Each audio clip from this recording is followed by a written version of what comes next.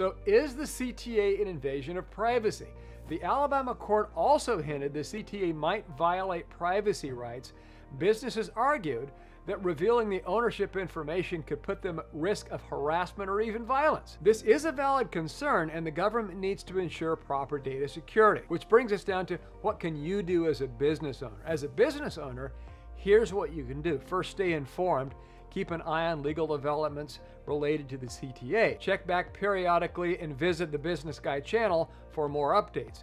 And check with your lawyer or a trusted business advisor for updates.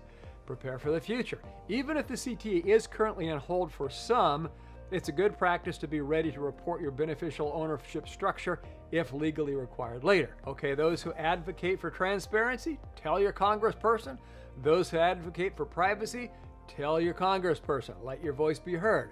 Contact your representative and express your support or opposition to this act.